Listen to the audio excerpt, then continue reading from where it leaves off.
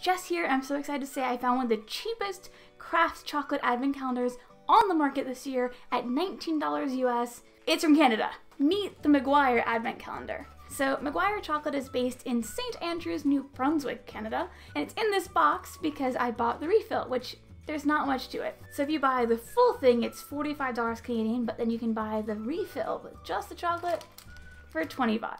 And I actually really like this. I love the idea of having less packaging, less waste, and while they are labeled, I love it as a choose your own adventure because you could just randomly pick stuff out and put it anywhere and you'd be good. So for the sake of this video not being, you know, an hour long, I am going to only try the first seven, but I will do them in order for the sake of proper spoilers. Number one here is the Arhuacos, please forgive my Spanish, 70% from Sierra Nevada in Colombia. And they're saying it'll have macadamia nut and fig notes. Nice. I do like off the bat that it's two discs, which is going to be great for sharing later. Or saving one for yourself if you really like something.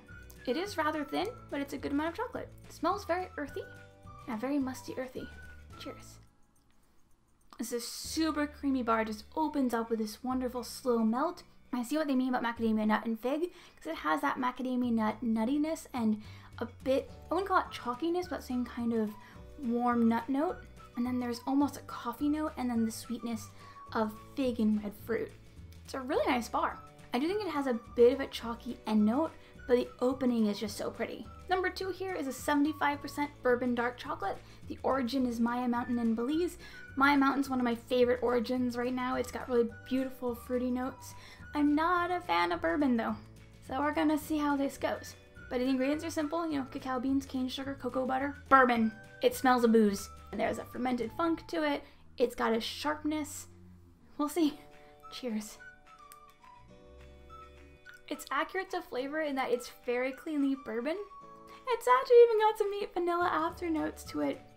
I'm not really getting much of the chocolate because the booze is so intense to me, but it is interesting. I would really like to have Shay try this because she would know what to say about it and whether or not it was an accurate representation of bourbon. I'm just distracted by the booziness of it all. Next, number three, we have the white chocolate pistachio 43%, which immediately I'm quite impressed because they're saying it's ground in throughout and I'm not seeing any of it. That's pretty impressive. And for the record, white chocolate is chocolate. It is a chocolate product. This has more cacao in it in cocoa butter than some conventional milk chocolates have on the market. It's chocolate. I'm not smelling any pistachio, but I am smelling that sweetness I associate with cocoa butter. It's not quite a vanilla note, but it is a distinct sweetness. Almost a cookie-like sweetness. Cheers.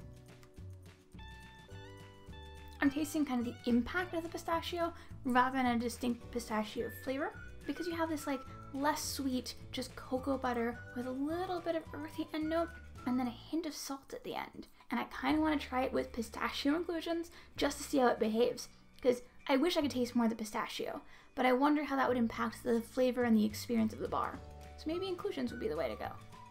Alright, number four here is a Mocha 56 with the origin being from Öko Caribe in the Dominican Republic. I- am not eating this. I cannot handle coffee products. You think I can't handle booze? Coffee is worse. So none for me. That being said, Öko Caribe can do kind of two notes. I feel like it can be really caramelly or really red fruit. I think caramel with coffee and chocolate could be excellent. So I'm very curious if someone who likes coffee could comment on this one. I'm not touching it. I will have number eight then instead. So number five is their Buccaneer Hank, which is a 70% Colombian cacao with sea salt from Newfoundland Salt Company, and I'm guessing it's called Buccaneer Hank because he's a salty sea cat pirate. I also really like the art, it's very cute. It smells very earthy. Like not mushroom, but that earth mustiness. Could be fun. Cheers. So the salt gives it this pop of sweetness at the very beginning, but then it gets really dark and really peaty super fast. You kind of have like this roller coaster of flavor going on. I feel like really deep earth roasted but not roasty chocolate. This is fun. So number six, we have the, oh, I'm gonna get this wrong, Bundibugyo? Very cool name. 70% from the same name district in Uganda. This has apparently a note of cinnamon, oak, and peat, which means I'm probably not gonna like it very much. I'm not a big fan of that funky peatiness that this like San Martin could get. And number five for that matter. Oh yeah, it's peaty. Cheers. The tasting note description is super on point. So it opens with kind of this warming feeling, kind of like cinnamon, but not on the nose cinnamon. And then as it builds, you get this earthiness. I am surprised at how soft it is though. Like it ends just very much a whisper of a bar after all that intensity at the beginning, which makes it really nice. Like it's a nice rounded note, almost a palate cleanser bar. Now, this is unique on several levels. So, this is an unroasted 70%, which is already pretty unique. This is a blend of everything in the shop, so even if I bought this bar tomorrow, it would taste different than this one. That's pretty cool. I will say though that unroasted is not everyone's cup of tea. It can bring a lot of notes to the table that not everyone enjoys. So this is a nice way to try it out and see what you think. Also just found out that you can be allergic or sensitive to unroasted cacao, so it's definitely worth testing on that front. Yeah, wow, it is super earth. Cheers. Whoa, there's a lot happening at once. There's like red fruit and a lot of astringency, but then not. There's definitely earth and a sweetness. There's like pops of stuff happening everywhere. It's really hard to keep up actually. But it ends less astringent I thought, like a little bit of dryness, and then red fruit, and it's kind of minty even. This is exactly the kind of thing that my friends and I would sit down and eat just to go, what did we just eat? And I always have a good time with those, so I'd probably get it just for that. Oh, I'm gonna mispronounce this. So last for this tasting, number eight, is the Adosmak 70% from Tabajon, Guatemala. And it has tasting notes apparently of cookie, fudge, and red fruit, which is very much up my alley. I'm super curious to try this actually. Not super intensely scented, so we'll see. Cheers. It is a very tart red fruit and very sour.